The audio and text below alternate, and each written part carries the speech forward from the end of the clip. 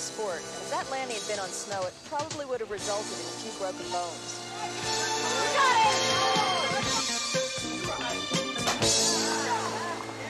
The acrobats wear ordinary snow skis and boots, and for safety's sake, a skateboard helmet, a water ski vest, and a wetsuit. Without the water ski vest, probably the weight of the skis would drag the skier underwater.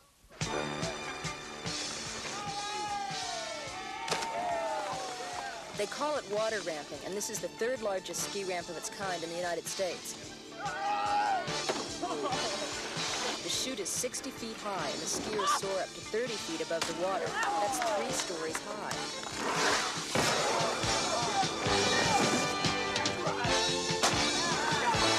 These young men from 16 to 22 years old are among the best freestyle skiers in the world, Olympic contenders all.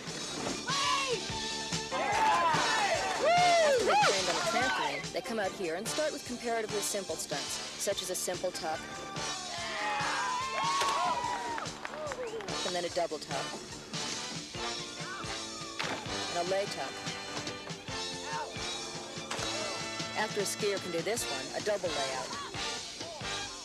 He learns to do a twist and then combine the tucks and twists in various ways.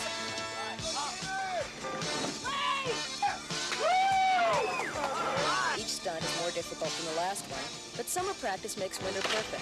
When the snow falls, the very best may be able to do something like this, a triple back flip.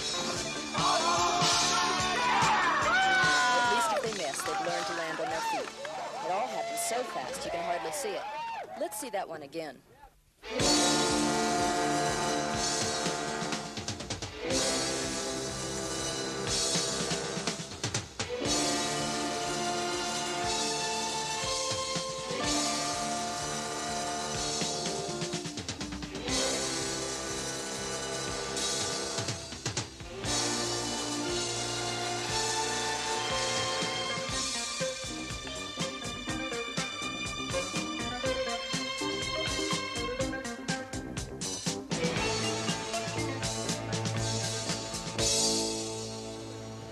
Have it, Gary Gessler, a preview of the spectacular new Winter Olympic sport of aerial ski acrobatics, because you asked for it.